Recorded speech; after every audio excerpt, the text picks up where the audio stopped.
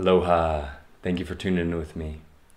December 21st, 2012, the day the Mayan calendar ended, was a monumental day for me, one of the most impactful of my life.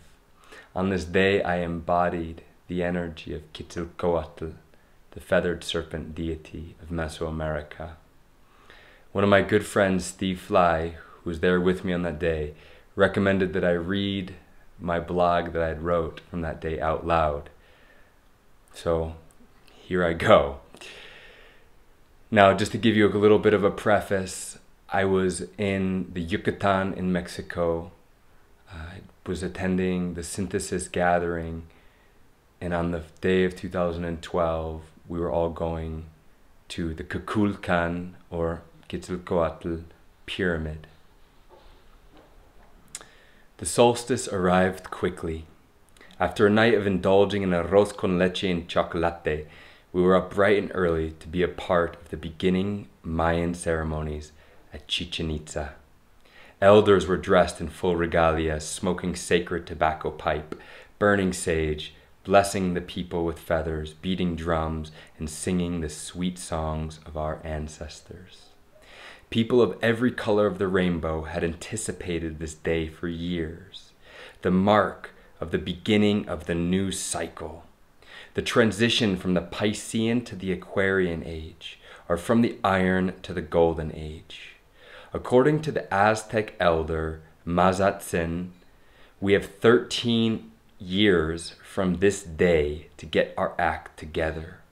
Either we will unite as one or we will destroy each other. The idea of utopia sounds nice to me. So I vote for peace.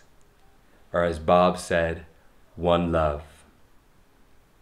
The elder ceremony did not last long. They were off the temple grounds well before the vendors set up their booths and the camera waving tourists flowed in. We were blessed to be a part of this early morning ceremony.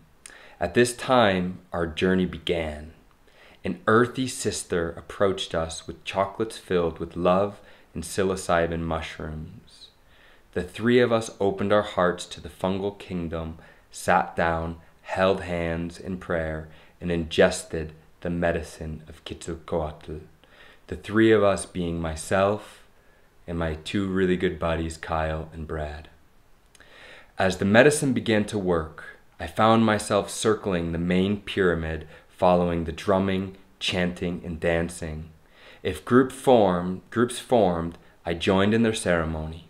If there was silence, I got on my knees and prayed to Mother Earth. For the first time in my life, I understood that we are all brothers and sisters. The sun is our father, the earth our mother, and we are their children. It is our du- duty to mature and take responsibility for ourselves, help each other, and take care of our mother. As the morning progressed, I found myself being called to the main ball court next to the temple of the jaguars.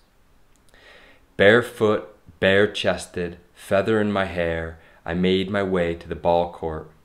Visitors, led tour by tours, snapped photos. Children ran through the grass, and scientists tried to make sense of the beautiful carvings and statues. I found my way to the center of the ball court where the earth opened up, revealing her precious silvery mud. Without hesitation, I began bathing in the sacred earth, connecting to all those who lived and played on this ball court. I began to feel at home, like I had lived there before. I found myself in deep prayer, filled with gratitude, and bathed in the abundance of love that surrounded me. I looked up from the mud, and my eyes filled with joy. A healthy tree fruiting bright, vibrant orange flowers like none that I had ever seen. Making my way quietly to the tree, I devised a plan to harvest a flower. With a quick swoop, I climbed the tree, snagging a flower with my teeth and dropping from the limbs before too many camera clickers could snap a picture. I was about to leave the court when I saw a precious, wise old Mayan woman. It was her flower, and she accepted it with a great pleasure and a large smile. The tree still stood, so I climbed back up it, this time snagging three flowers, one for each ear and one for my mouth. As I thanked the tree for her flowers, I noticed that the unconscious beings that unconscious beings had stuffed her trunk full of plastic bottles. Disappointment quickly flowed through my veins. I picked up a bottle, looked at the crowd of people taking pictures of me, and began smacking it against my head, speaking the common language of the body that we can all relate to, and saying, Wake up. This is our mother. Why are we polluting her? I emptied the trunk of bottles, made my way to the trash, and was sent off with a twinkle of the eye and a gracias from the beautiful elder Mayan woman. I felt the pain of Mother Earth, and it made me want to cry. I sunk my face into the ground, prayed to her, and then was greeted by a couple of news reporters. They shoved the microphone in my face and began rolling. I simply told them how I felt sad and disappointed. It was a powerful moment as I asked humanity to wake up and to nourish the roses. The news reporters chose certain clips and interviews that made us look like a bunch of ungrounded hippies living in the clown, clouds. Regardless, I do believe heaven will reign again on this planet. After being sucked dry by the camera, I ran into my two buds. They saw my sadness and tried their best to console me. I needed space, so I made my way to the south side of the pyramid. Laying face down on the earth, I apologized for all the pollution and rubbish that we had created. I felt like a bad child.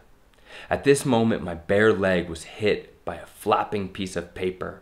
I was angry at first thinking, ah, trash. Then a voice spoke to me. That paper is for you, Michael. And I jumped up and I grabbed the rogue paper. On it read, The prophesied return of Quetzalcoatl, found after the ingestion of entheogenic mushroom. A workshop would be taking place the following day on this topic.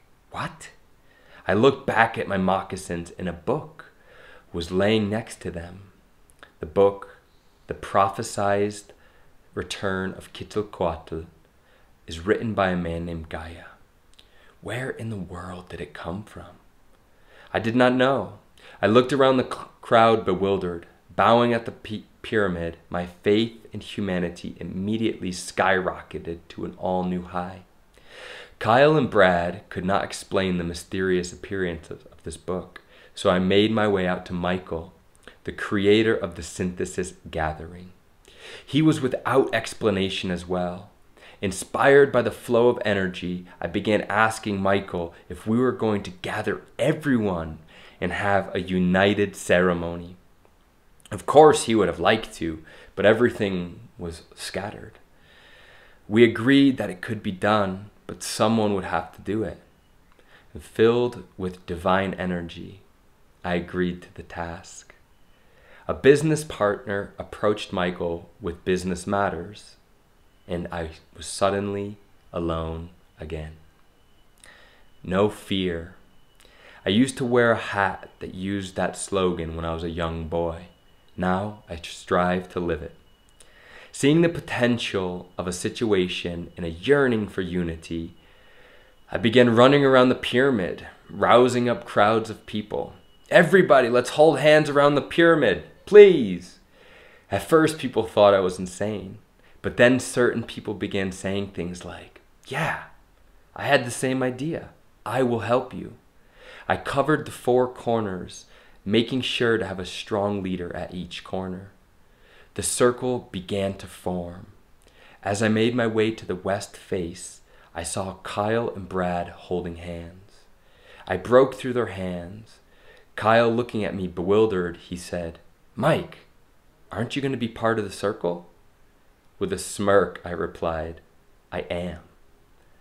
Then I took off running like a wild man around the pyramid, letting out the loudest Indian cry I could. One hand raised in victory, I made my way back to the south face. right where I was praying, was the last break in the circle. I held the hands of a small boy and an elderly lady. Then the whole circle began to move. The little boy, almost in tears, looked at me and he said, This is so beautiful. As I looked up at the sky, three birds of prey swooped through the clouds and began to circle the pyramid. The clouds broke and the sun shone on the pyramid for the first time that day. We were pulsing with love and gratitude for existence, and our mother and father were happy. Quetzalcoatl returns. I made it to Gaia's workshop the following day, and it turns out he was put he had put the book on my shoes. He said he saw me in prayer, and it looked as though I could benefit from the book. I could not agree more. During his workshop, he explained that indigenous tribes of Central America used entheogenic mushrooms as a link to the divine. They fasted, prayed, and then would ingest the mushroom as the sun was setting, a symbol of entering the underworld. Then they would dance. Through ecstatic dance, they could access the spirit that became known as Quetzalcoatl. Throughout the book, Gaia references many statues and, and engravings that show Quetzalcoatl sprouting out of a mushroom, or shamans dancing with mushroom heads, or Quetzalcoatl flying with a mushroom in hand. It is Gaia's belief that now is the time for human when humanity is going to reawaken to the potential of ingesting mushrooms in sacred ceremony to resurrect the spirit of the feathered serpent sun god Quetzalcoatl. I agree. It is time to reveal the truth. Humanity is almost ready.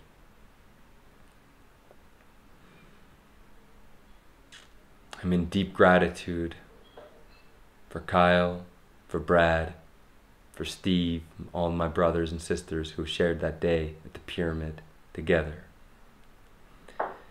From the bottom of my heart, I love you all. Let us remember that we are all brothers and sisters. We do not need to destroy this planet or each other.